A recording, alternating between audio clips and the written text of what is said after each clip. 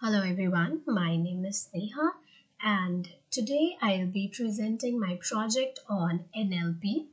Uh, natural language processing, as we all know, it helps computers communicate with humans in their own language and scales other language related tasks. For example, it makes computers to read text, hear speech, interpret it, and measure sentiments, etc.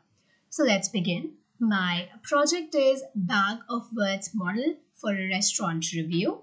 So I will be creating a bag of words that contains zero for every negative sentence or negative review. For example, can do better or poor efforts, etc. And one for every pass or a positive review.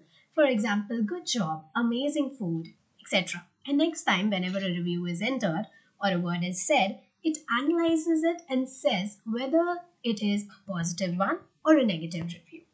So it works like it categorizes how many times the word amazing is associated with positive result and how many times better is associated with negative result that is zero.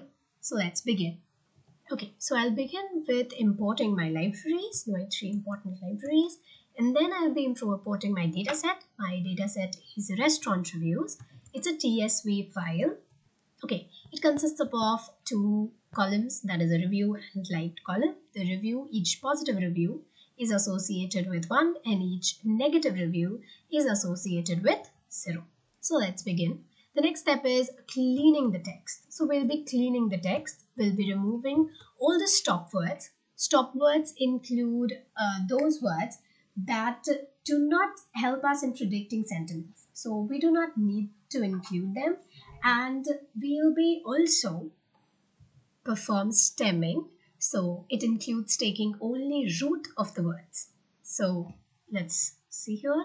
This corpus is list that consists of all the clean reviews. Now we have to create the bag of words model. And the next step is splitting our data set into training set and test set.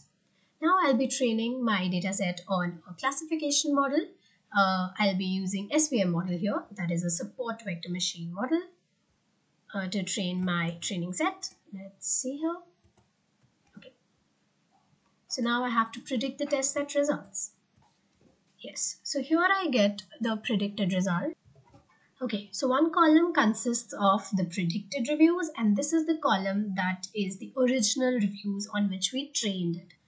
Okay, so let's see through confusion matrix. What is the accuracy? Oh, great. So we got an accuracy of 79%. We are having 79 correct predictions of negative reviews, 79 correct predictions of positive reviews, and 18 incorrect predictions of negative reviews, and 24 incorrect predictions of positive reviews. Now, let's begin to predict single review if it's a positive or a negative review. Let's start. So for a positive review, I have taken as I love this place so much. Let's see what it predicts. Okay, it predicts one. That means the review was correctly predicted as positive by a model. And here, the next one is the food is not that good. It is zero here. That means the review was correctly predicted negative by a model. So that's it. Thank you so much for watching.